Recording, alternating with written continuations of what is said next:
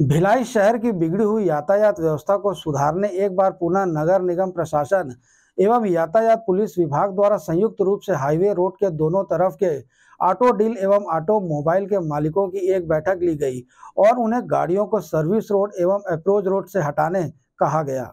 राष्ट्रीय राजमार्ग से लगे हुए सर्विस रोड पर रिसेल में वाहन बिक्री हेतु खड़े कर यातायात व्यवस्था को बाधित करने वाले व्यवसायियों के साथ यातायात पुलिस की उपस्थिति में निगम सभागार में बैठक संपन्न हुई।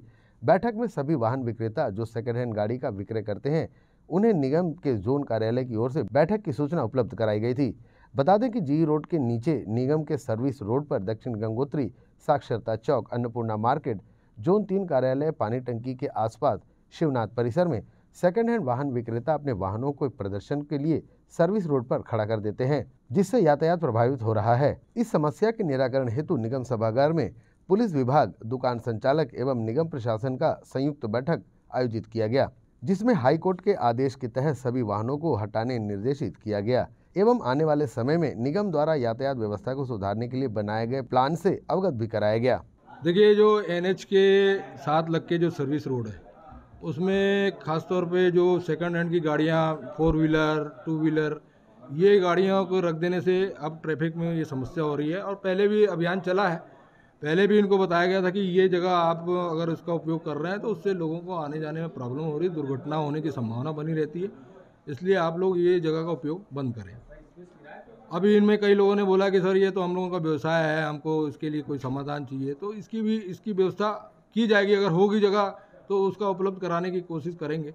परंतु अगर वो ट्रैफ़िक को लेके, क्योंकि हाई कोर्ट ने भी इसको संज्ञान में लिया हुआ है कि कोई भी सर्विस रोड, फुटपाथ आने जाने के लिए फ्री रखा जाए अगर उसमें किसी भी प्रकार का अतिक्रमण है, जैसे संडे मार्केट है संडे मार्केट हुआ, वहाँ पे बहुत सारी ऐसी समस्या है, या कुछ लोगों ने ऑफ़िस बना लिया है या कच्चा ही बना लिया, ठेला रख दिया है तो ठेला डंप गाड़ी और ये इस तरह की गाड़ी जो बेचने का काम कर रहे हैं, ये शोरूम वाले हैं, अब जैसे टीवीएस वाला है, ये इसने पूरी गाड़ी अपनी जो है वो रोड पर ही रखता है।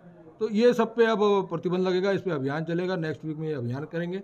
एक मार्किंग करेंगे। मार्किंग करने के बाद उनको बता दिया जाएगा कि इस मार्किंग के में आपको अपनी गाड़ियों को इस तरीके से आपको नहीं डंप रखना है कब्जा नहीं करना है या आप सेल नहीं कर सकते।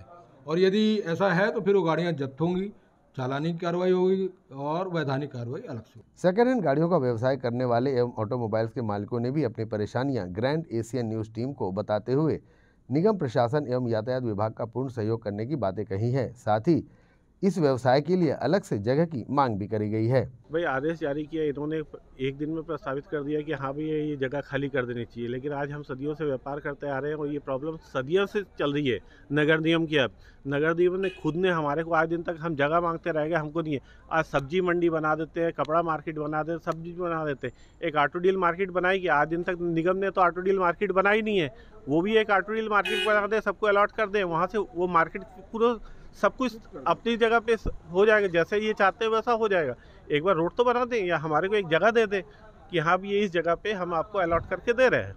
बस, उसमें सबका सबको सबको सुविधा हो जाएगी नहीं, हमारा पूरा सहयोग रहेगा, नगर निगम आएगा, बोले, वो हमारे को मार्किंग चले जाए।